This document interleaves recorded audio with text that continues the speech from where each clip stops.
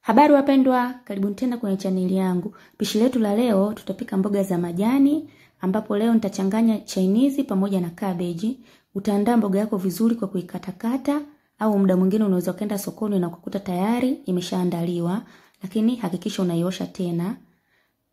Baada ya kuandaa mboga yako, uteka mafuta kiasi kwenye sufuria jikoni na uteka mafuta kulingana na wingi wa mboga yako.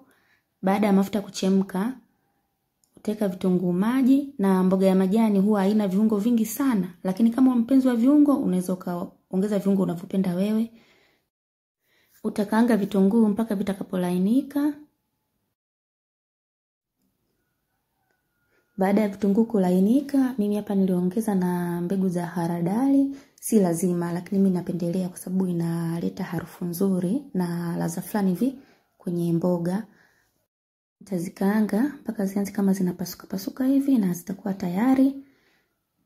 Kisha utaweka karoti na karoti utazikata kwa staili yoyote unayopenda wewe au unaweza ukazisaga kabisa. Na baada ya hapo utaweka nyanya.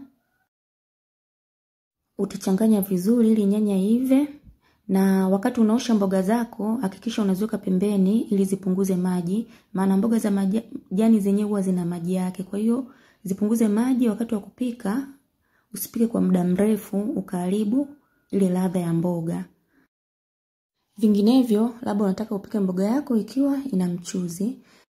Na baada ya nyanya kuiva vizuri, yani imeisha maji kabisa na inachukua kama dakika tatu tu inakuwa tayari. Utaweka mboga za majani ambazo ni kabichi pamoja na chainizi au cabbage wengine wanaita.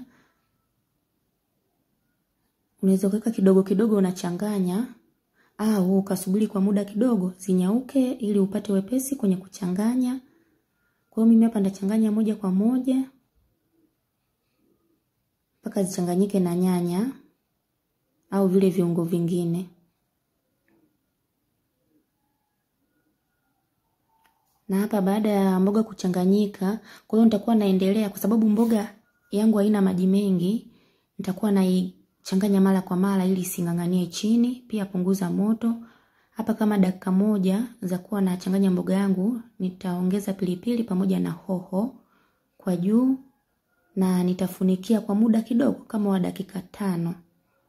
Na baada ya dakika tano mboga itakuwa ipo tayari vizuri kabisa na kama unavyoona ipo kavu, haina maji, ni nzuri sana. Usisahau kulike video hii, tukutane kwa mapishi mengine na kwaherini.